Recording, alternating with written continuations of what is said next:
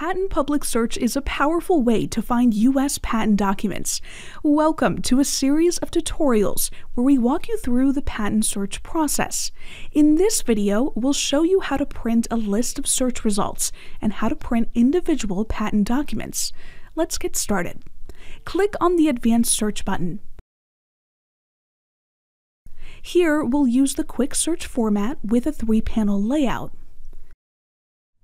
Once you've run a search, you'll see the results listed in the Search Results pane of the bottom left panel.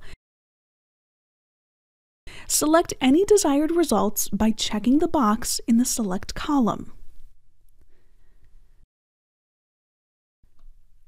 The list of documents you selected can now be displayed in a table, which can be printed.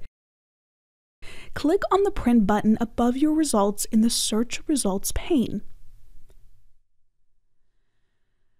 A print preview window will appear, which includes the document ID, date published, title, and number of pages of the selected results. Click Print if you'd like to print this list of results.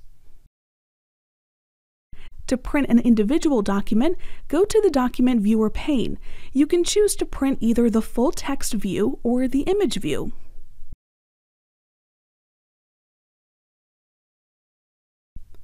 Select the Print button in the Document Viewer tab.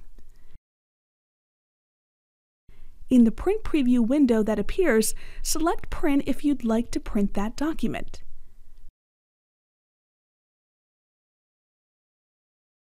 And that's how to print your search results in Patent Public Search.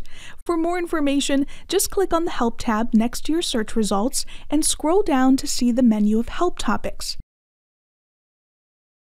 And be sure to visit the Training Materials webpage, where you can find online resources and more patent public search tutorials.